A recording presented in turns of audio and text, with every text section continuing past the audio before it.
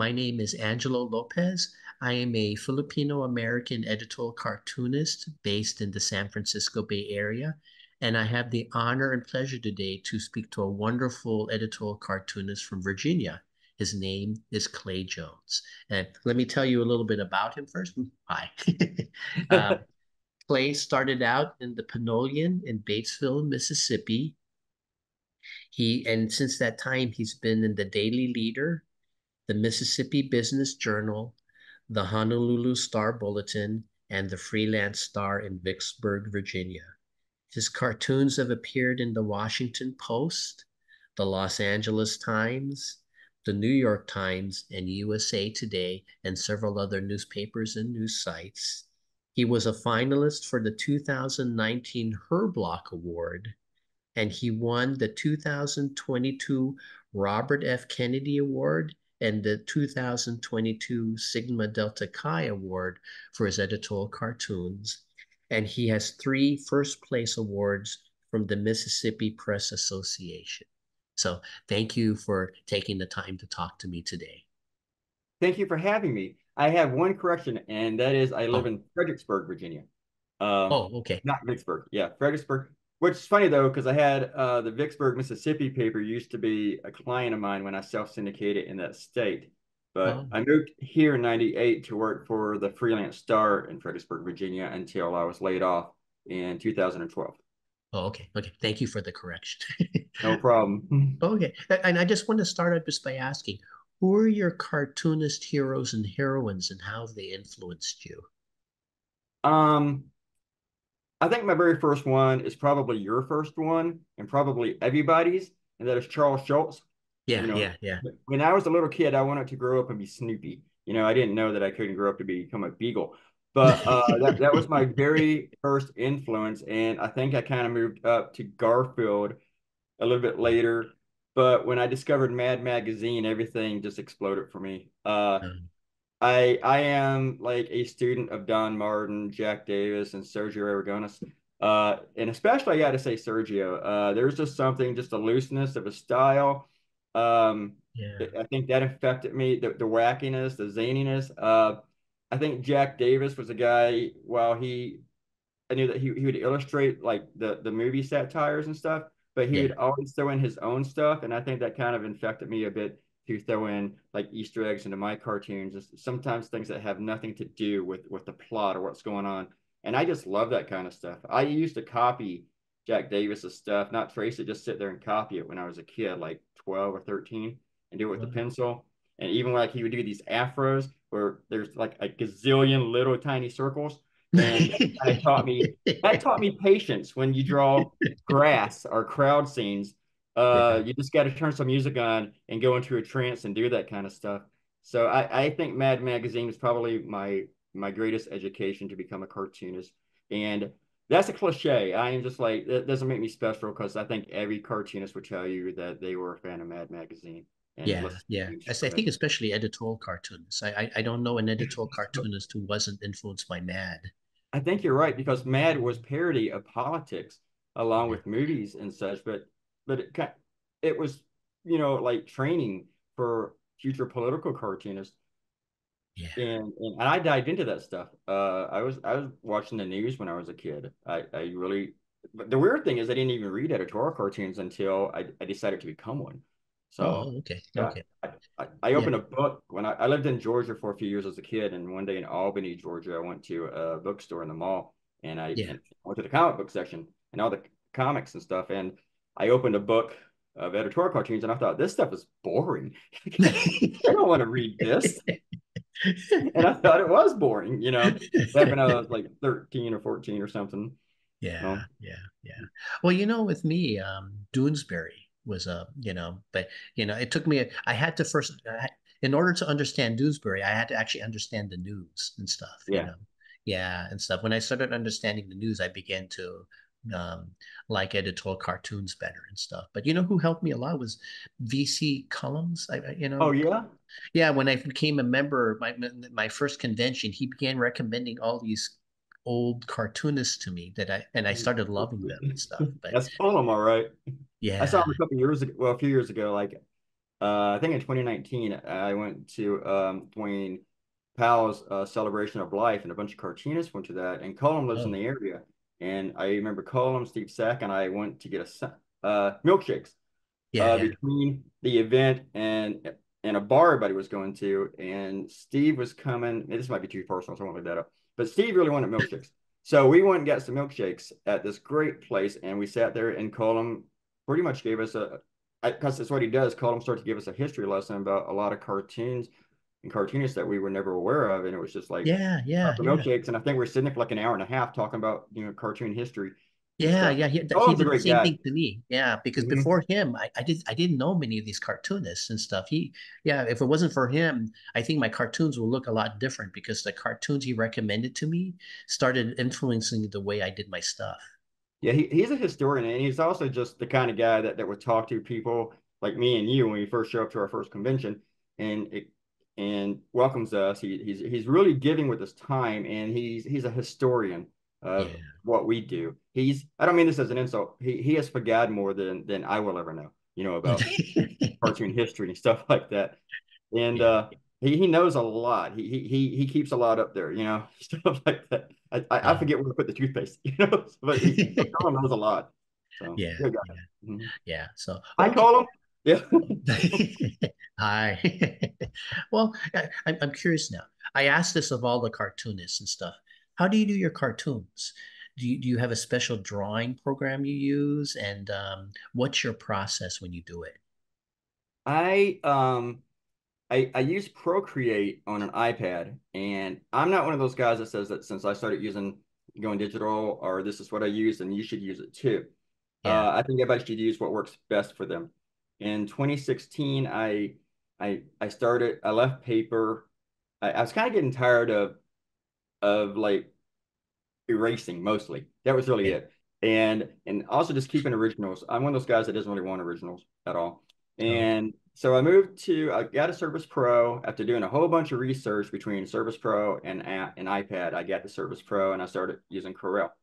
And then in 2021, I think I moved to the iPad. And I thought, what research was I looking at? Because the iPad blows the Surface Pro away. oh, So okay. I, I use Procreate and um, on my iPad. You might have saw me in San Francisco Yeah, drawing. yeah, yeah. yeah. That's why I Yeah. asked and stuff because I think on one of the days you you you you couldn't join us because you had to finish your cartoon, right? Yeah, I remember that. Uh, I, I'm pretty good at putting some things off for a while, and I think on that Sunday we had breakfast. Were you with the in the group that had breakfast up the up the big hill? Not San not. Sunday, not Sunday. Okay. I think I think my last day was Saturday. Okay, but that was the only day that I could actually get a seat in the lobby of the hotel because that one table was always taken and there was no desk in our hotel rooms in that in, in the Uh, Triton. But um, my process, I guess, go back to that is I I try to have my idea for like say Sunday now. When I wake up tomorrow, I want my idea to be written already to write at some point today. yeah. Uh, that doesn't always work out, doesn't always happen, and um but I'd like to wake up, make my coffee. Coffee's a big process for me, part of it, Yeah. and start. I go through like 20 things I have to do in the morning between sharing cartoons on Facebook, seeing who's posted my work online, make sure nobody's stealing it, or or if there's any emails I need to reply to and, and such. And then about maybe after about 30 minutes to an hour after I wake up, I can actually start cartooning.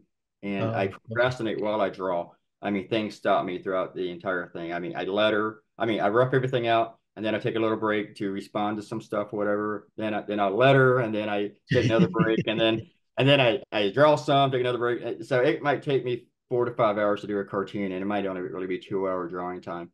My Oh, yeah. CNN cartoons usually because they're Friday afternoon, and I just want to get my day over with. I will not procrastinate as much, so those cartoons might be quicker. And because I remember uh, Fridays Fridays when I when I draw it and it publishes Sunday, and I think I spent two and a half hours on Fridays on, on this week's CNN cartoon because I didn't procrastinate at all. So Yeah. I wait so much time. I, I I'm just terrible about that. Well, I spend a lot of my time just reading and stuff, you know, just um because You you have know, to do that. Mhm. yeah, because you know, for me, if if I don't, I have to care and stuff about and have a strong opinion about this. I I have a hard time doing cartoons on subjects I don't really know much about and don't care about and stuff. So Exactly. That, that that is the the one problem that can come from an editor sometimes when they do assign stuff. And the only editor that really assigns anything to me is CNN. And this isn't like a, a bash on them. It's, it's with every editor. Sometimes you will be assigned something you just like, I don't really care about that at all. Let me try to care. Let me go read more about it or find a way that I can care about it. And like you said, I have to research a lot. I I have to read and you know everything. You read everything. I, my TV is on my my TV is on CNN right now uh, muted. Oh, I mean, okay. my, I'm always on the news. I, I, always have it on on weekends or sometimes in the evening. I might take a little break and watch something else that's not news or watch some sports yeah, or yeah. something. But uh, I try to know what I'm talking about when I draw something. Readers will yell something at me or people who don't like my work, and I find out that half the time I, I can at least respond because I, I know about the yeah, issue. Yeah. Um, and of course, right when, when they yell at you about something, they don't know what they're talking about. So that's fine. I mean, they, they watch Fox News and they think they know it all, you know? So yeah, yeah, yeah. Yeah, that's the same thing with me. If I, you know, I, I know if I do a cartoon, if somebody disagrees with me, I want to be able to defend myself. Right. Yeah. Uh, you have to understand also the difference between a troll who you don't have to respond to, and and I respond to them way too much. I feed them too much. But uh, if there's a legitimate conversation, I like to know what I am talking about and yeah. to be able to respond. I like to reply to something intelligent, or at least uh, when I feel like I need to. I don't like to blow things off, or or, or I, I don't want to run from a challenge, but at the same time, I don't want to spend all day arguing with a troll. Yeah, so, you got to pick your fights. Yeah, you do have to pick the fights, and sometimes they're not fights. You just I just want to talk about it. You know, people want to talk yeah. to me about it. It doesn't have to be a fight. In uh, a long time ago, like before 2016, it wasn't always a fight. Uh, if you disagreed with somebody, you were able to talk about it. Remember when we used to go to our conventions and we were able to do that? We yeah, used to talk yeah, to yeah. cartoonists well, who other side of the aisle, and you didn't fight them. You would argue and stuff, but you'd have a drink with them, uh, or you know, and, and, you were still friends. I, I know, like Ramirez back in the day, Ramirez and uh, Horsey were like two guys who were really really good friends, but uh, they they didn't agree on anything. Yeah. So, yeah. but but it wasn't a factor that if yeah. you didn't agree with somebody. I, I noticed that change too. I, I I'm I'm I'm fairly liberal, but I used to have close conservative friends, and we used to be able to talk about to. politics. yeah. Yeah, I used to be able to talk politics with them without it becoming um, personal, I guess, and stuff. Mm-hmm. But that changed and stuff, and that made me it sad because they were to... close friends and stuff. You know. So I used to be friends with both McCoys, and mm-hmm. something after Trump came out was just like this this fucking sorry for the language. This mask comes off. It's like ah, and you uh, can't even talk yeah. to him anymore. It's like ah, I didn't realize you were a Nazi. You know, just, like I knew this guy for twenty years, and it's not just cartoonists. There's people in my my daily life, like a, a guy that used to I used to play guitar with, uh, work in a guitar store. And I thought, oh, he's a nice guy. I never really talked to him about politics. And as soon as Trump came up, the guy starts goose stepping. And I'm like, when did this happened? What what did all these people that I used that I used to know somehow just overnight, including people in my family, just turn around and start drinking the Kool-Aid, the orange Kool-Aid. Yeah, yeah. It's really amazing. And they yeah. don't, and they're like your typical Trumpers. They don't know anything except for what Trump tells them. Trump never lies. You know, uh, the, the, weaponize DOJ and build a wall and blah blah blah. You know, so yeah, yeah. Well, I'm going to go off on a rant. Sorry. Oh no, no, no, no. I, I think a lot of us have gone through similar things. You know, you you don't you don't choose your friends based on political affiliations. A lot of times you just learn about it later on and stuff, right? Yes. Yeah. You know, and so you get to know them as a person and stuff. So for me, it was sad because I it was painful for me to lose some of those friendships and stuff. Same here and, and now I do kind of use it. Um, like I had a, um, I was drawing cartoons for an expat newspaper in Costa Rica, and I started drawing for them. I think in 2015, and after about a month into the job, I was doing a, like a, a, a little Zoom conference with the the owner of the publication, and I made a joke about Trump. And he goes, "Oh, Trump's awesome. He's great." And uh, and and he was he was a Canadian actually, oh. and oh. he's a Costa Rican he's down there just praising Trump. Like, you guys are going to be great. Anybody who who who becomes a billionaire deserves to be handed anything he wants. And I was like, this is not going to work out. But it kept working for him. And then they started arguing with me about uh, stuff. And then eventually, I they when we stopped the relationship, they they still owe me twenty five hundred dollars for cartoons I did for them. And the lesson is don't get into any sort of business or personal relationship with a Trumper uh, is my personal rule now. If somebody's a Trumper, I don't really want to do anything with them because they have the same ethics as Donald Trump. Donald Trump has zero ethics. He has zero personal ethics, zero business ethics. And if you get with somebody who's okay with Donald Trump doing that, then they're probably okay with screwing you over. So yeah. I I so now this thing that you were talking about, you never use politics to pick your friends. Now I kind of do. You know, I don't want to go out. I don't want to date a girl who who likes Donald yeah. Trump. No, just not at all. Just can't do it. Yeah. I don't trust her. Yeah. I, mean, I don't trust anybody. I'm not, yeah, yeah. I, I just, um, you know, I, I, I, had some. I mean, this kind of actually leads to my next question and stuff because right. you're you're in Virginia and stuff, and is is Virginia purple?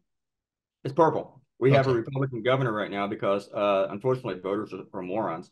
Um, they they totally forgot what Donald Trump was, and, and our our uh, elections are off years. Like after the presidential election, the next year we elect governors, yeah. and we have like General Assembly that's a legislature every two years. Yeah. And right now it's controlled by Democrats. We have a Republican governor, and during his whole campaign, he lied about uh, Biden sending the FBI to harass teachers and, and stuff. Oh, and yeah, yeah. voters bought into it. And and the Democrats didn't put up a good candidate either, who was actually former governor. But uh, we are very purple, but we lean blue. Uh, Biden won by a landslide in this state. We went blue with Obama uh, in 2000, eight. And I mean, we're, still purple. And then the next year we got a Republican governor, and then after that it was all Democrats until last yeah. year. And uh, Youngkin is just a horrible, vile person, but with a smile. So um, yeah, yeah. he's rancid. So, but our state is mostly blue. But but the blue area is like where you were born, Norfolk, and um, Northern Virginia, and my little town, Fredericksburg. We're like an hour south of Washington but the, the city I live in has not elected a Republican since like 1988. And oh, okay. totally blue. But we are surrounded by red counties. So it's not like I go I can go to a bar or a restaurant and just talk to to liberals. Like you will have like a, a MAGA guy sitting right next to you in a bar or something like that. So I don't go out talking about politics if I can. yeah, yeah. What are issues facing Virginia right, you know, the past few years? Um, uh, the education thing was one thing that everybody was talking about. You know, it's, it's like just like with national, we're we're probably a good representation of what's going on nationally. Okay. Uh, like when Youngkin uh, was elected, he wouldn't talk about abortion, and then with the last election, that was this, last year, twenty three, for the General Assembly, they were like, "Trust us on abortion. We're not going to ban ban abortion in the state. We just want a six week restriction." And voters wised up because they were like, "Well, they're Republicans, so that means they're lying." Uh, yeah. As soon as they, they get control, they're going to ban it. And so they lost. Um, yeah. And then they blamed, you know, Democrats for lying about their, their position, but they were lying. They were going to ban abortion as soon as they got it. They, they lied about critical race theory. Like, when I'm elected governor, we'll get rid of critical race theory out of all the schools, which is not in any of the schools because that's yeah, what Republicans do. They effing lie. How much my language? Uh, I don't know what kind of age group you have here. But um, I talk about politics and Republicans. I tend to curse, but um, I'm lying. I curse about everything. But uh, but is it part of being in a purple state? You get exposed to that more than I do as a person in California. Yeah, you, you don't have as many presidential can- candidates campaigning there. Here, you know, I don't think Trump worried about Virginia last time because he, I think he knew it was gone. Uh, he oh, did come okay. here in 2016. I actually went to his rally. He came here in town, and um, that was scary. Yeah. Uh, I took a very good friend with me. He, she was uh, the letters editor at my last job, and her name was Hillary, and yeah. she is Jewish. And so when we got there, she's like, "Don't tell people my name's Hillary because I know these these Trumpers are immature enough to like just come after me just for that, and don't tell them I'm Jewish. I'm uh, like, uh-huh. all right, we just won't do that, you know, if it comes up. But I'm not going to walk through the rally going, look, I'm with a Jew named Hillary, you know. But yeah, Hillary's yeah. one of my best friends, and yeah, so, so. Yeah, but yeah, Virginia, we, we, we're a bit of a, of a battleground, but I don't think we're a real battleground. I think uh, I think we're a battleground for uh, like senators and governor, but I think pre- for president, we're, we're knock on wood, or my glass drawing table, uh, I, I think we're pretty much uh, a good lock for the Democrats for the presidential race. Uh, okay. We do have two Democratic senators. oh, okay, good. Governor. So that's how we we are. Yeah, yeah. So okay. Well, you know, you're a well-traveled editorial cartoonist. You worked in newspapers in Mississippi, Hawaii, and Virginia, right? Yeah. What did you learn from your experience in working in these very different states? Mississippi is like a Marshall Ramsey would tell you this. He got there right before I left. Um, and, and he worked at the Clarion Ledger for a long time. But he would tell you Mississippi is like the world's biggest small town. Everybody, eh, like in politics and such, especially in the journalism community at newspapers, knows everybody. The the journalism community is kind of tight knit. You go every paper sends representatives and such to the conventions, and they're and they're fun. Yeah. Uh, so it's kind of like a small town. The funny thing about Mississippi is that your casual voter person on the street would know who the agricultural commissioner is. They know who the lieutenant governor is. They know the the attorney general. They, they all these people, the secretary of state. They all make a lot of noise. Uh, in Virginia, people don't. People really only know who the governor is. Maybe uh, they're not oh. not as much like a small town. We're a larger larger state. Um, so uh, and and like in Mississippi, I remember the governor came to my newspaper one day and he came to my office and he's going through the cartoons. And then another day that uh, Mike Moore, who started that the whole tobacco lawsuit in the 90s, he came to my office and he's going through stuff. And and then I, I went to a little league game with the governor and his staff and some other reporters, just you know, because he's doing a photo op. So I went there with him. I was when you work for a small newspaper in Mississippi, you do a lot more than cartoons. I was like a photographer and delivered yeah, paper yeah, yeah, to, to the stores and such. Um, but anyway, like at the ball game, I'm trading photos, showing my, showing him photos of my kid. He showed me photos of his daughter, who was about the same age. This is before iPhones. We actually had real photos. Um, yeah. and then like a week later, if I talked to a journalist at another newspaper, I said, "Hey, uh, the governor was in my office the other day," and he'd be like, "Okay, so what? You don't you don't impress people with that because it's small state. You know, people run into him. The population's small. Uh, yeah. I think six or seven electoral votes. Uh, in Hawaii, Hawaii's mean. Uh, at least in the 90s, Hawaii's, for me, the journalism was so much more fierce because we were at war with the other newspaper. Um, and, and Hawaii's just there for a year to take it over for Corky, who I know you want to talk about. Yeah. But we were in the same building and but there was magazines, there was the Alt Week Weekly, there there was other newspapers, and a lot of people would gather at the bar next door, and you'd run into other journalists and stuff and you'd yeah. have debates and arguments. Politicians would come to your office, like from the city council to the state legislature. They'd come to your office to try to impress you, try to win you over. And after my, my time in Mississippi, I was there for like seven years. I was sick of meeting politicians. I was just tired of all these guys because all, all, they do is kiss your ass. So my first week in Honolulu, if you yeah. like stories, um, the governor Benjamin Cayetano, he uh, Filipino, he um, yeah invited the editorial staff, it's like five or six of us, to come to the to the governor's office, and I didn't go. And they said, and they my paper bosses weren't going to make me, and I was new. And they said, "Oh, you don't want to go? You don't want to go meet the governor?" I says, "No, I really don't. I don't really want to meet these people because I don't need to, for the most yeah. part. I, I just don't think I have to meet them at all." And yeah. then the next day, I didn't go to the meeting. Then the next day, his wife comes into my office with her daughter, who's like maybe two or three. And she comes in there, and this woman was in an Elvis movie when she was three. Her Vicky Cayetano comes to my office, and she's like, "Clay Jones, why weren't you in the meeting yesterday? Why didn't you come visit us and stuff?" And I'm just, and I'm drawing, and I'm just like, "Duh." I'm, I'm like 29, and which is to me now a baby. But I'm just like, "Duh, duh, duh." The other thing was was that she was like drop dead gorgeous, so I was also like, "Duh." First person I ever saw that made a moo look good, you know. Yeah, yeah. And I mean, she was just amazingly beautiful, but also funny and huge charisma. And then, but it didn't work. I still spent the rest of the year making fun of her husband and drawing yeah, yeah, yeah, yeah, and stuff like that. That's how Hawaii was different. Hawaii, I would get phone calls. You know, I'm surprised. I, I had this idea that Hawaii would be mellow, but it's actually pretty fierce and stuff. The people are mellow. The people are the nicest people you will ever meet in the world, but the politics is mean.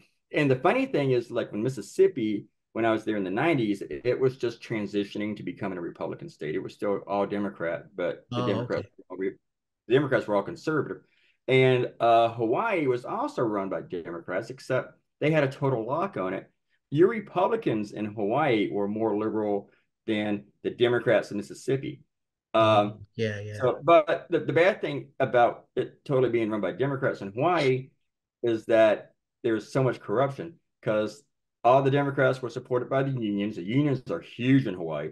And yeah. then, of course, those Democrats would appoint judges. If you want to sue the union, you got to go through the judges that were basically appointed by the unions. Uh, yeah. there, there, was just yeah. a lot of corruption in Hawaii at that time. I haven't been there since, but I had a blast working in Hawaii. that was the most fun I ever had in my life. But the other thing, though, was that um, it, one of the biggest scandals in in Hawaiian history what happened while I was out there, and that was with uh, the Bishop Estates. Uh, there was a lot of corruption and graft going from that with the the trustees um, abusing, you know, their power and the funding and stuff. And the Bishop Estates is like a, a school that's that was a trust built from a Hawaiian princess, and uh-huh. uh, for Hawaiian children, and and they were abusing it. And then uh, a priest and so many other people, officials, uh, wrote an editorial that ran in my newspaper, yeah. and uh, I I got to I got to be the first cartoonist to hit on it. The other cartoonists didn't even know about it before I hit on it because it, it was like breaking news, and my yeah. paper. Um, and so I spent like that was the biggest issue for the rest of my year when I was out there, and and I just had a blast doing that. I hated to leave Hawaii. I was like, I don't, I didn't want to leave at all. But but unfortunately, Corky wanted his job back, so I had to leave. Yeah, you know, I I wanted to ask about that too, uh, but you know, with um, because I'm a Filipino American cartoonist, and Corky, I, I, I didn't really know any other Filipino American political cartoonist, but Corky Trinidad was a Filipino American editorial cartoonist. What was it like being with him? Um, Corky, as you probably know, but I'll tell you for readers, he he was from the Philippines and he worked for uh, a Filipino paper. Um, and he was chased out by Marcos. So this guy was a warrior. This guy was a hero to me. Um, I mean, he, he took a stand uh, against the corruption and a, and a, dictator, basically, and was yeah. chased out of the country. A dictator let him come back once while he was in power. That was to go to go to his mother's funeral. But Corky went to Hawaii, got a job at the Star Bulletin. I, am not familiar with all the history of it. I know yeah. that he worked for USA Today and he worked for uh, Military Times or something, Army Times or whatever. Yeah. But in a comic strip, I'm not that familiar. But I I didn't get to meet Corky that much. Didn't get to know him when I first got there. Oh. He gave me his office. He was gone. They, he was leaving for a year on a sabbatical, and he was pursuing this uh, comic strip venture with Asian newspapers. And oh, they okay. and my boss boss told me, and boss says he all said Corky's probably not going to come back. This might be your job if you do it well. And within a week, they were like, they were like, "You're doing it well. This will be your job if Corky decides to come back." And then I was like, "This is awesome!" And the staffers like me. I like them. I like the. I, lo- I love the paper. I, I, love the people. Yeah. And uh, but then Corky had to come back uh, for a couple weeks for some insurance thing, and they said, "Well, you can't be a cartoonist, but you can um, work in the graphics department for a few weeks." And oh. so I talked to him a couple times, and I didn't really get to know him. There was just like some sort of wall between us. He didn't bother me. He he wasn't rude, nothing like that. And then, and then I, I saw the comics feature that he was trying to do, and when I saw it, I thought, actually, Corky showed it to me. He, he said, This is what I'm going to do in Asia. And when I saw it, I was like, Yeah, that's great. And I pat him on the back. And I thought in my head, I'm not going to get to keep this job because this isn't going to take off. This is this is horrible. This thing that he's putting together, all the other comic strips are not good. They weren't his comic strips, but he was doing like three four because he he needed to fill all the spaces. And yeah. since he was like cramming them out, they weren't very good either. But the other people that he recruited, they weren't very good. And I, I know, bless his heart and all that stuff. I don't mean to trash him, uh, so I knew I wasn't going to get to keep that job. I knew Corey would want And then a few weeks before I left, Dick Adair, who worked at the other at the paper across the hall, the editorial cartoonist, he came into my office, which surprised me because we weren't supposed to go into each other's buildings. And but somehow he he weaseled in, and um, he said, "Hey, I'm having a party at my house this weekend." Found out he was actually living in my neighborhood. Didn't know it. He had a house, a home on this canal in Hawaii Kai, this neighborhood and he said, Corky, but we're having a party to welcome Corky back. That's cool. But we just figured, hey, we're making a party to say goodbye to you too and uh, celebrate your year. I said, yeah, it sounds great. I love going to a party full of cartoonists and stuff. And yeah, yeah. Uh, and I hadn't really met Adair at all, and I did, hadn't gotten to know Corky. But when I went to the party, Corky brought me a book of his work, and I got to know him just from this one party, and I fell in love with the guy. Uh, he's such a huge personality, huge charisma. His wife was great. Uh, I got to know Dick. Uh, totally had the wrong impression of him. The entire year, I'm thinking I, am kicking this guy's butt. He he hates me. My my cartoons are funny and and they're hard hitting and and and I know he's reading me every day, and he's probably like, this guy. But when I got there, I just I realized he didn't care. He didn't care what I was doing. he, he wasn't threatened by me. But um, Corky was was super cool. I talked to him a few times after I left, and when when he was sick, I I I, I wrote to him a few times. But he was a big sweetheart. Uh, he was he was lovable. I got I heard this one story about Corky from my editor, and they love Corky, and that was the one thing when they they were like, "Yeah, we love your work, we love keeping you," but I also knew at the same time that they love Corky too. They weren't like, "We, yeah. we want to get rid of that guy." It was nothing, none of that. They love Corky. Um, yeah. I only heard from one person who's who was like, oh, "They need to keep you and just get rid of Corky." Only one guy on the staff said that. Uh, but everybody else was like, "We love you, you're great, but we also love Corky." Yeah. And I proposed to the publisher, you should just keep both of us, you know, because you had to do two cartoons a day, front page, editorial page, and it was a lot of work. And I said, you should let me and Corky alternate, but they were like, eh, when you get. but um, I I heard the story that there was an editorial board meeting, and they were writing about this issue about the, the state giving free condoms to students. And Corky stood up and goes, No, no, no, we can't give free condoms to students. And they're like, Why not? He says, Nobody should get free condoms until I get free condoms. So like, I want free condoms. but he was just a funny guy, you know, just always, you know, he, he was hilarious. I, I, loved him. And I didn't even get to know him that well, but yeah. I spent a lot of time with him. You know, I think he respected uh when I was there not to bother me, you know, yeah. when I even when he was in the building. I don't think he I think he might have come in my office his first day when he's just back for a couple weeks just to say hello but he yeah. didn't come back in again. He, he didn't he didn't come up. He didn't talk about my cartoons. He, he never came in and graded them or said, "Hey, great cartoon," or "Hey, I don't know about that." He he yeah. never did any of that. Um, I, I think he just kind of kept his distance. And it was kind of funny because at that time I was always going to the graphic artist office. They had this huge office and they had a lot of toys. There's like three or four people in there and a TV. Yeah. And I'd go hang out in there and it just just to like relax or, or goof off or whatever.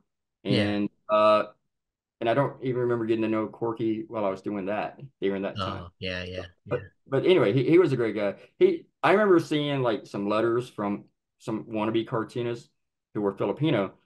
And after I got the job, and they were just like, "I want to work at Corky's desk. It'd be such an honor and stuff like that." He, well, I would feel the same him. way. He I was a hero. Maybe that was your letter. I don't know. oh, way. Yeah, Maybe yeah. that was your letter. I don't know. Yeah. But yeah, he, I would. I envy you for that and stuff because, like, I don't, I don't know the history of Filipino American editorial cartoonists, and when I just and when I looked at your bio and found out that you you worked with Corky, you know, I thought, oh my gosh, I wanted to ask you about that just because um I just, I just don't know and stuff, you know. Yeah, Corky's a hero. Uh, that's the way I view him. I mean, anybody.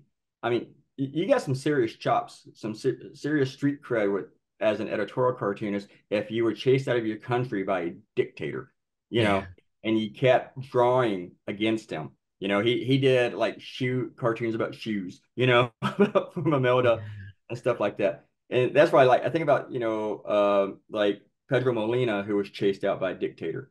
Yeah, know, yeah, I met him. I met him. I, I... You have? I, yeah, I, I want to meet him. I, have corresponded with him like through Twitter and stuff, and I think he's a hero. I think these guys are yeah. champions of what we do for free yeah, speech. He has a lot of courage and stuff. Yeah, and that's what pisses me off about the guy in Canada who's working under an anonymous name. Uh, well, I don't know this. What are you talking about?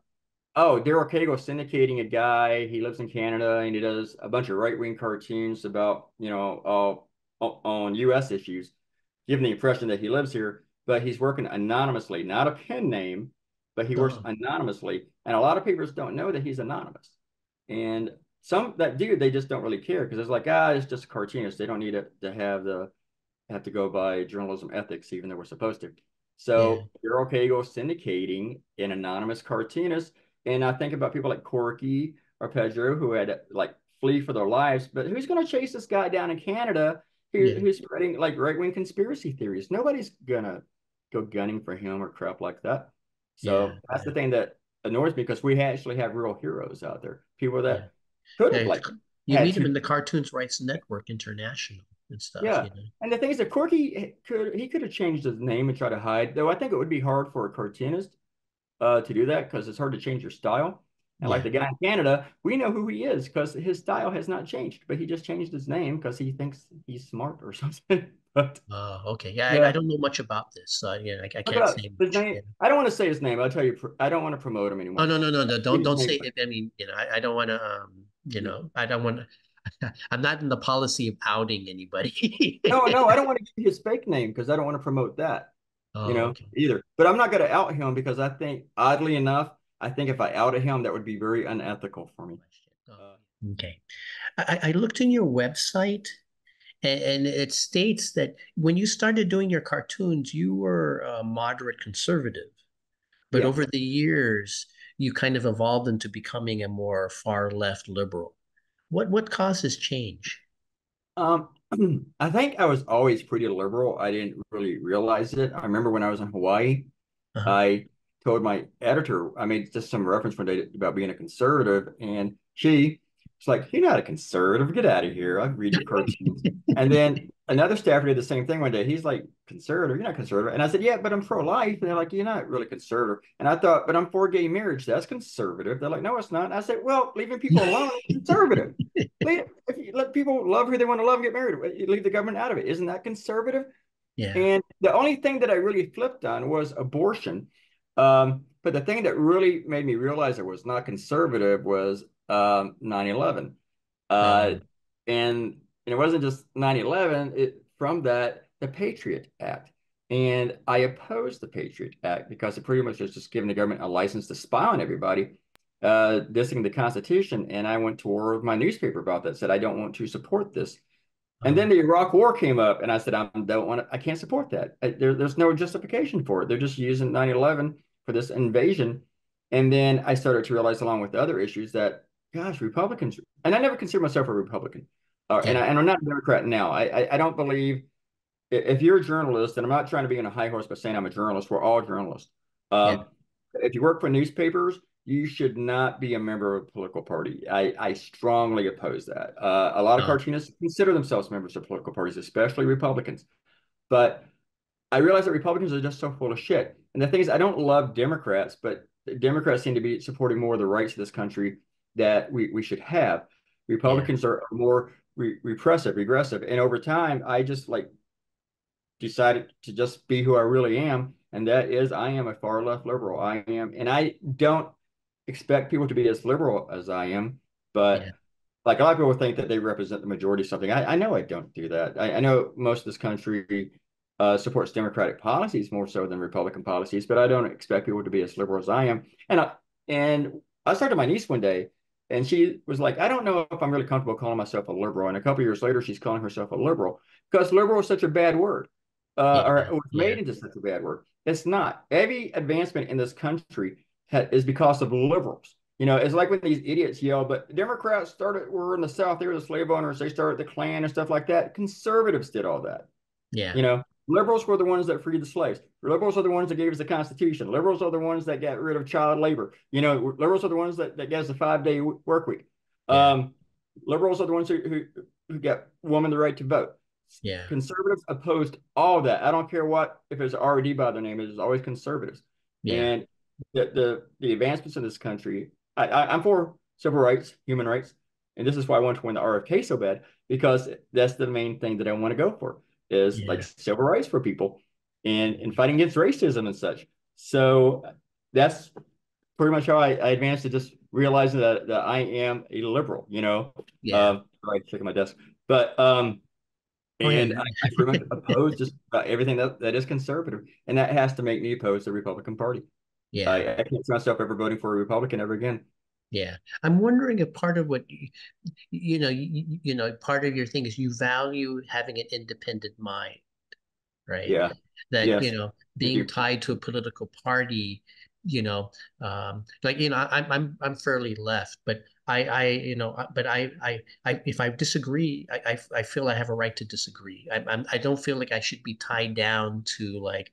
If I ever disagree with the left, I should feel free to disagree with the left and stuff, even Yeah, though I, I'm the left, you know? I totally agree with that. I mean, take Bob Menendez for an example. I don't want to have to make excuses for somebody that does that. You know, I don't have to make excuses for Hunter Biden. Uh, Yeah. I, I, he's he looks like seems like he's been a vile person most of his life, but and I don't have to defend that. I Yeah. I only defend not going after him as a private citizen, but so I don't want to tie myself to parties to to have to defend their BS. Uh, Yeah, I I am not partisan. I I might be extremely liberal, but partisan is is a party thing. I am not partisan. I don't yeah, care if you got a D next to your name if you mess up, and yeah, I will hit Democrats with my cartoons. Now I I have a readership that's that's like 99% liberal, and they don't like those cartoons as much, but they let me get away with it. That that shows that you're willing to. That show I, I admire that about you. Your independence of you. mind. It's like say I had a I had this talk with another cartoonist. It's like um, you know George Orwell. He was to the left, but he was Mhm. still willing to criticize Stalin, right? Yeah. You know, um, you know, um, Barry Goldwater was to the right. He was still willing to criticize Jerry Falwell and stuff, right? Mhm. You know, you don't have to be t just because you're one side or the other. You, should be able to still criticize your own side if if you know if they're doing something wrong. Yeah, I, I, I wouldn't say that I'm on the same side of Stalin, but you know, uh, there's a difference between left and leftist, I, I believe. You know, Yeah, yeah. No, I, I just right it's just an example and stuff. Yeah, Yeah, yeah, I understand that. I yeah.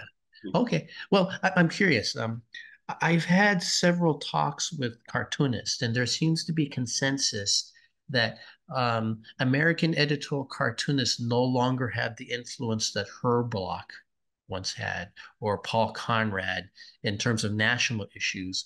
But American editorial cartoonists still have a lot of influence on local issues and state issues. But there's a conundrum in that in that many local newspapers have been dying out. And the ones that survive, many of those local newspapers that survive no longer have an editorial cartoonist. How, how can, do you have any opinions on how American editorial cartoonists can, um, um, you know, solve that conundrum? I think that conundrum is um, as difficult to solve as it is trying to figure out how we continue to make money as an independent, unemployed cartoonist. It's very Yeah, difficult. You're right. We don't have the influence uh, of a Conrad or a Herblock or or a or an Oliphant. Uh, we don't have that anymore nationally. The, the, the best that I can hope now is to get blocked on Twitter by Donald Trump Jr. or something like that. Uh, we just don't have it yeah, anymore we don't change people's minds. We are mostly drawing for the choir. I, I love it when the other side screams at me. I, I just I love knowing that other people are reading my cartoons. I got like three or four consistent haters on Go Comics, and I'm glad they're there. You know, a lot of people say get rid of the trolls, and some of them are trolls, but I want to hear from other people. Um, I'm not changing their minds though, uh, at, at all. Um, and they're not changing ours either. Uh, Republican cartoonists aren't changing liberal minds at all. You know, Ramirez isn't changing anybody's minds. You know, um, trying to think of another conservative right now, but um, but they're not doing it. Uh, yeah. But you know, most of my though, readers are liberals. Yeah. Yeah, I'm just thinking that when you're saying that, you're you're a liberal cartoonist who's willing to criticize Democrats. So you're willing to keep your own side accountable. Is Yeah. that that's a good that's not that's to me I believe we like have to be responsible. I, I don't work for the Democratic Party. I don't work for a liberal party. I don't I don't work for the liberal agenda. I, I'm not an activist. I, I I'm a one maybe a one person activist. I'm not joining any campaigns. Um, Yeah, yeah, I, I, I do want to prevent Donald Trump getting in the White House, but I'm not going to go join a, a campaign about that. yeah, Um, and how we change minds or influence. I think you're right. There could be a lot of influence on on local issues. I believe that because uh, you're because Johnny, well, so Johnny Carson is some old stuff. Jimmy Kimmel is not commenting about your local alderman, you know, or, or your yeah, local tax policy and stuff like that. That really the only people that comment on that are columnists in newspapers or or online news outlets are the cartoonists, if there is a cartoonist. Um, that is where you could probably have the, the most persuasion and maybe, or at least the, the most impact, even if you're not persuading people, you can make people talk about it, make people think about it. That is, to me, the strongest thing that a political cartoonist can do is actually inform through satire, is to educate people about the issues. Um, and I think you can do that more so locally, which is why I really miss drawing local cartoons. I got my job in Hawaii on the strength of my local cartoons. My my editor in Hawaii, Diane Chang, told me that when they were going through all the submissions and there were some high profile people applying for that job, people way more famous than I am. Um, and um, I don't want to say their names because I don't want, want, to make it sound like I'm better than them because I'm not. Uh, like, ha ha, I beat you. But um, But when they looked at my cartoons, because everybody was singing this stuff about Bill Clinton, this was 97. And uh, this is like a year before Monica Lewinsky stuff. But Bill Clinton, Newt Gingrich, and whatever else was going on that year. And um, I sent in stuff along with that too, but I also sent in a lot of Mississippi cartoons, a lot of local stuff. Oh, and they yeah, said yeah, that when they read my local cartoons of Mississippi, that they understood the issue uh, that I was talking about. And they were like, I never even heard of this Governor Fordice, Kirk Fordice, Mississippi before, but I know what the cartoonist is talking about. And they yeah. hired me for that because they wanted me to really focus on local stuff. They didn't hire me to draw national cartoons, and I drew national cartoons, but they the, the Star Bulletin wanted me to draw, and Corky did this for years, uh, to draw a daily cartoon, uh, six days a week on the front page in full colors at the bottom of the page. Little did I know that they had Corky doing it five days a week, so they tricked me into doing it an extra day. They didn't tell me that, so after I had agreed but um, but that's the power of local cartoons. And you know, every time a reader wrote or, or called, and God, they called so much. Councilmen called, city councilmen and stuff, and, and state legislators. Of course, they called about the local issues, the, the state issues, um, yeah. city issues. They didn't. Nobody ever called me yelling about my Bill Clinton cartoon or my Newt yeah. Gingrich. Uh, they called about what I drew about Governor Cayetano at the time, or got to remember this Margery Bronster, the, the Attorney General in the state.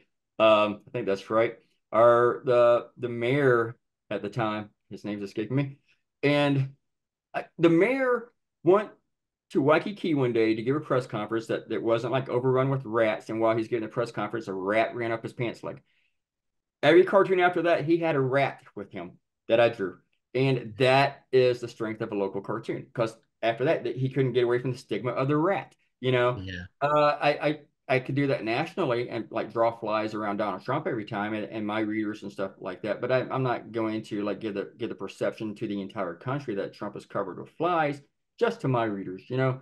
So the local cartoons are way more powerful. That's where the cartoonist can cut his teeth. If a cartoonist is not good at local issues, then he's not really.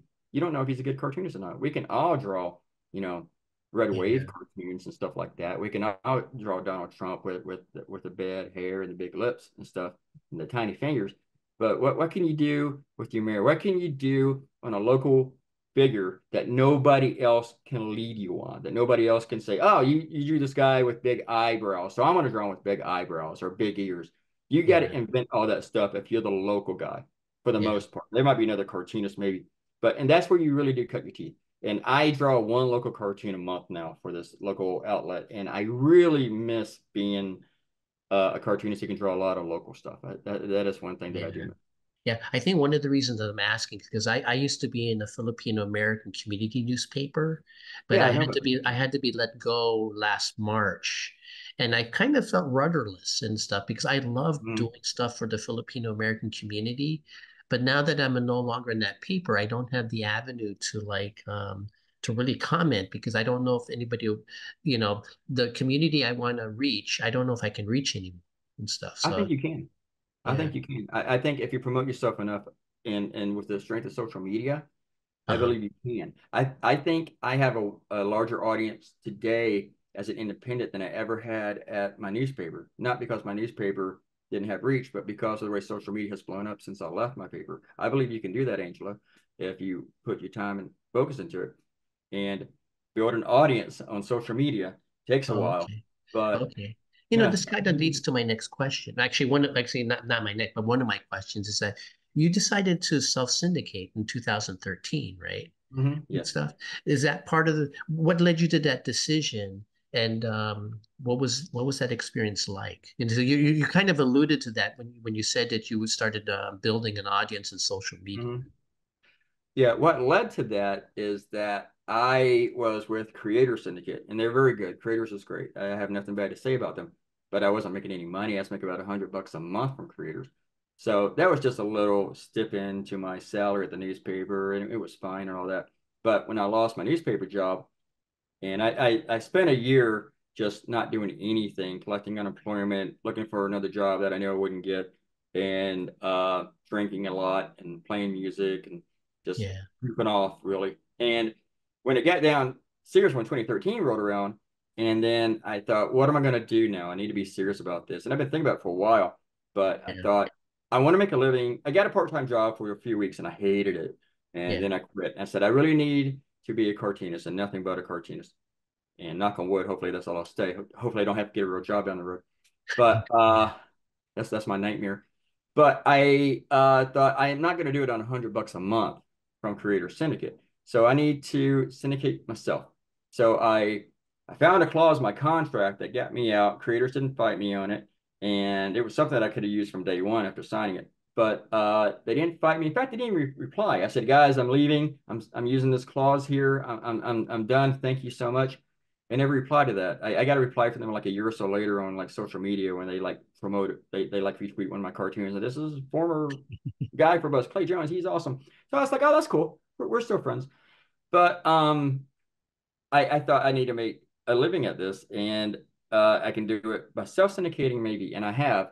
Uh, it, it changes every day, self-syndication. Uh, when I first started, it was, it was a lot easier to get clients to get newspapers to sign up. Now it's so hard, it's so difficult because newspapers are controlled by one entity. It, they don't let their like their chains, like a Gannett owns a newspaper, and they don't let the, the local editors pick their stuff anymore. Mm-hmm. Um, especially after one syndicate makes a sweetheart deal with them that says you only subscribe to us and don't hire anybody else. You know, don't put anybody else in USA Today, and then they lock you out. Um, uh. I, I have, and but when I first syndicated, uh, you talk about what the experience was like. I didn't even have internet at my my apartment at that time. Not this apartment; it was a different one. Um, so were you doing just mailing it to everybody, or no? No, it well, it was email. But what I did uh, was I went to McDonald's every day, and oh. I used their Wi-Fi. I'd sit there for like eight hours or something, and I went through every single newspaper in the country to their websites and found the contacts. And if I couldn't find the contacts, I found a way to find the contacts. It was um, it, it was it was so tedious. It was such hard work. And that today, every time, so now, well, I, I email every newspaper in the country when I do my drives to pick them up. And um, whenever they they bounce back, like um, like the news, like the editor has quit or he's died or he's been fired. Usually they've been laid off. Uh, yeah. I go back to that site and this is tedious too, and I update that contact list. Um, yeah. It's a pain in the ass. I hate it. it. It's so annoying, and I only do it a couple times a year. And but that's how I maintain the contact list. I, I probably have the email address for an editor at every newspaper in the country on me. I, I bet like telemarketers wow. will this list that I have. I could probably sell it. Uh, I won't do that though. But uh, that's part of it. You can't just be a cartoonist when you self syndicate. And Joe Heller knows a lot more about this than I do because he's been doing it since the 1980s. Yeah. but um, and, and he's better at it too because his cartoons are more in line with what newspapers want. Uh, Joe draws really good cartoons, but he also draws a lot of softer issues. He'll tell you this. I'm not trying to insult him. And my cartoons don't really do that so much. My cartoons are mean and nasty and and yeah. very political. And I've literally had editors tell me that we can't carry any cartoons on Trump. Not just stuff that criticizes him. They, they don't even want stuff that, that that likes him because the readers they don't want to make any readers mad at all. You know. Uh, yeah. So it's a harder marketplace to draw for. Most newspapers won't really soft uh, cartoons that hit you about as hard as little kitty cat paws. You know, it's just like yeah. they don't really want a lot of stuff that's tough. Um, yeah. I'm not trying to say like I'm, I'm the toughest cartoonist out there and stuff like that, but but I know that that I am a tough cartoonist. That, that I do have some yeah. mean cartoons. I mean, look at the way I draw Donald Trump. So so, um, but it, it's a harder marketplace to, to, syndicate, and plus you're competing against packages. Like I, I, can sell my cartoons and they just get me, but um, and some of my clients only use me, uh, but others use several cartoonists, but but they can subscribe to any other syndicates and get like access to 20 cartoonists or more. Whereas me, it's just me. So so if they want me, they really have to want me, you know, yeah. and that's flattering, but uh, that's all I'm selling. So, yeah. cool. But, it, but it's tough to compete against. Yeah, yeah, yeah. But it's it seems like you're doing okay and stuff. You know, I mean, I'm getting by. I mean, I live in a studio apartment. My God, look behind me. Oh, so, oh, okay. I, just see that cool guitar. I, you know. yeah, I bought all those back when I had a job oh, twenty oh, okay. years ago. Yeah. yeah we don't buy guitars anymore. So here, yeah. that's okay. That's okay. So, oh, okay. Well, I'm curious. In, in your website, you said, "My cartoons do not tell readers what they should believe. I hope they simply challenge people to think."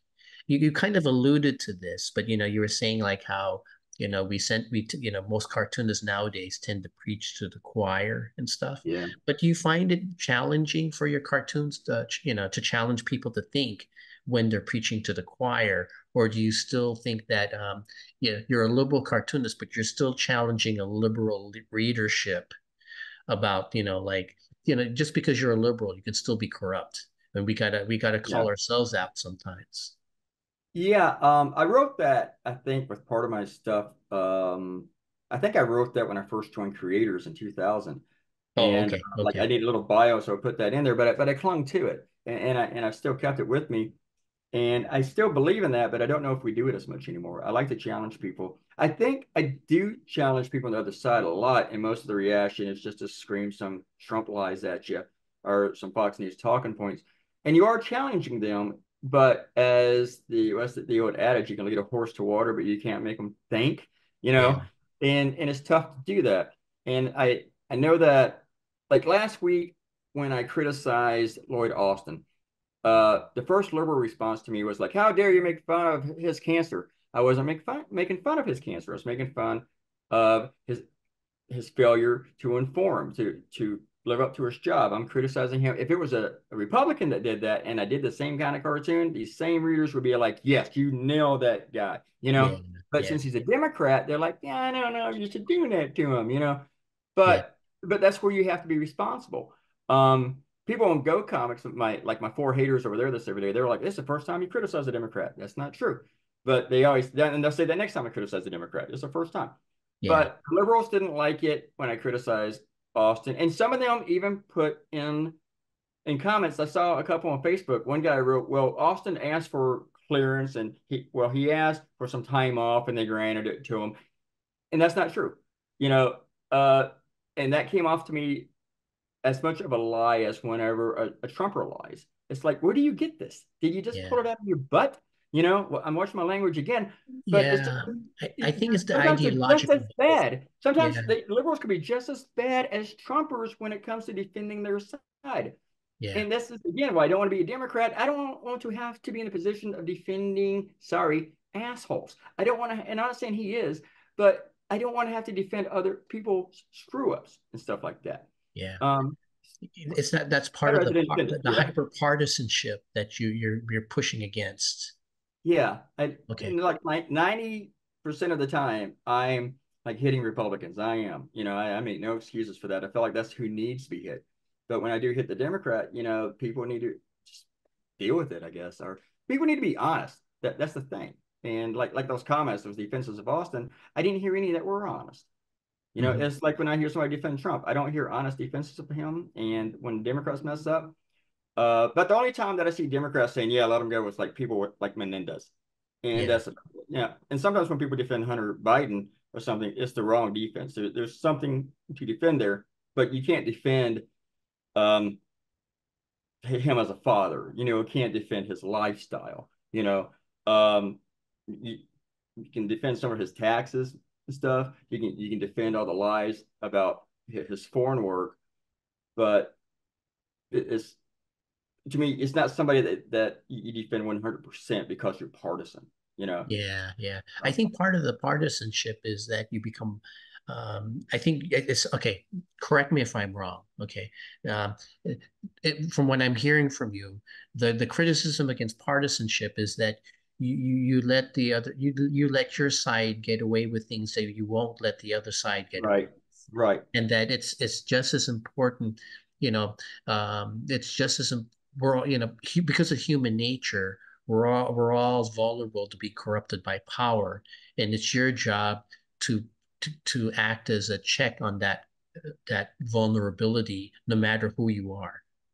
Well here's a great example. Uh, but one of my rules personal rules, and I always I, I have certain cartooning rules, and and I, and I reserve the right to break them sometimes. But uh, one of those rules is that if I criticize a Republican for something, then I need to criticize when a Democrat does the same thing. And yeah. sorry for the sunlight coming in. I got posts right here. But um, so look at Trump's golf. That's a great example. I know. I, I had this black screen and there's a couple holes in it because it's so old. and then some folks said at this time of day, the sun comes right up my my drawing table. Uh-huh. But anyway, Trump golf is a great example.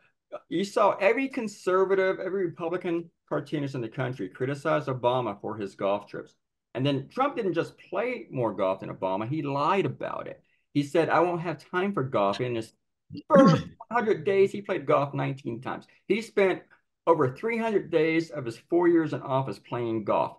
And I never saw one conservative cartoonist criticize him for his golf playing. Not one. I'm not, yeah. that's not hyperbole. I, I didn't see any. But all those same goons that drew about Obama playing golf, who wasn't breaking any law, who wasn't grifting the public with it, they they, they went after him for that. But but meanwhile, Trump plays golf, but he doesn't just play golf. He finds a way to grift the American taxpayers for it. He charges us for him to play golf.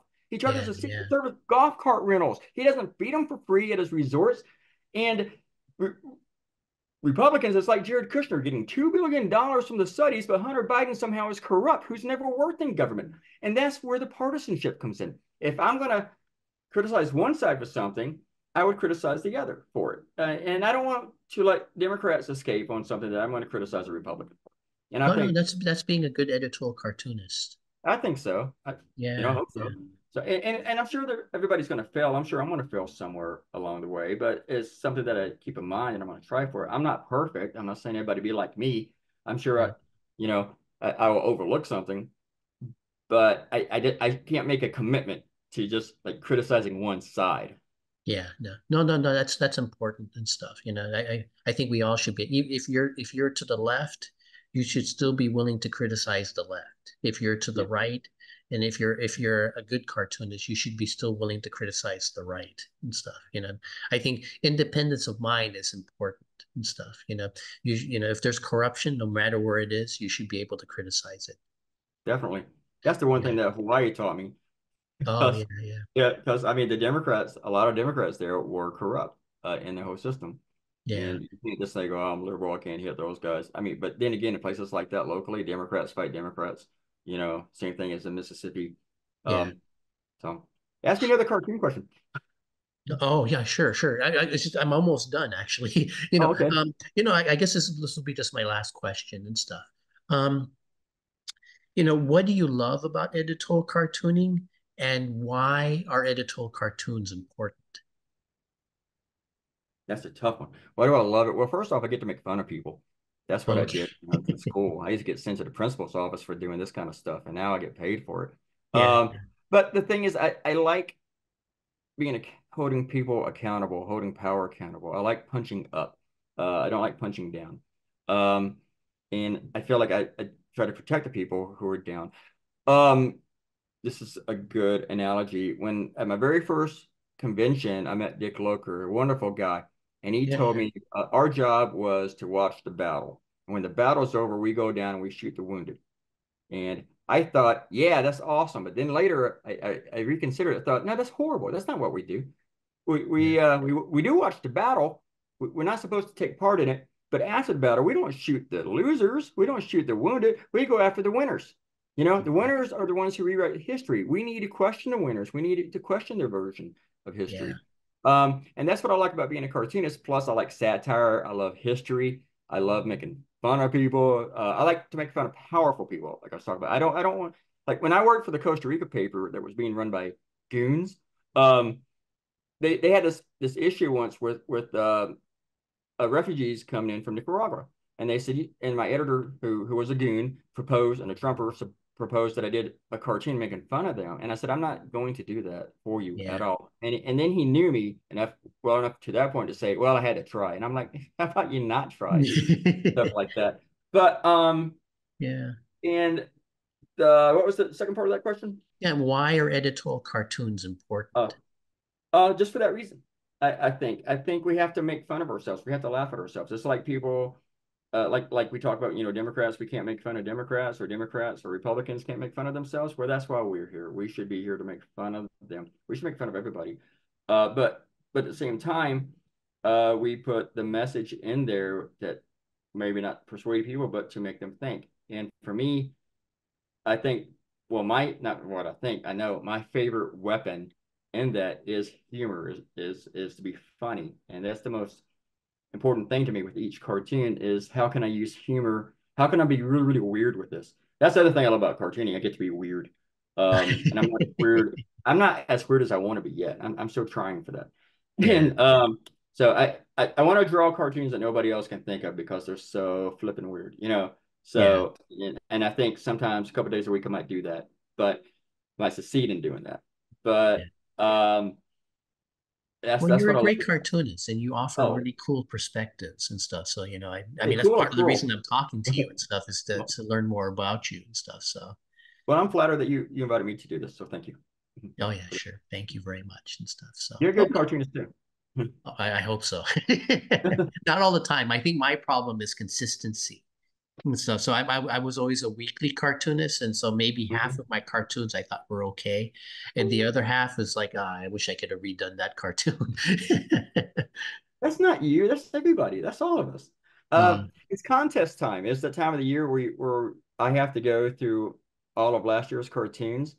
And and here's a funny thing. Like I drew over like 365 cartoons last year. And yeah. I go through all those and say I need 15 for a contest, and I might pick 40 or 50 to choose from. So think about that. Even if I go with 50, the bulk of my cartoons are not cartoon. I don't even find them cartoon worthy.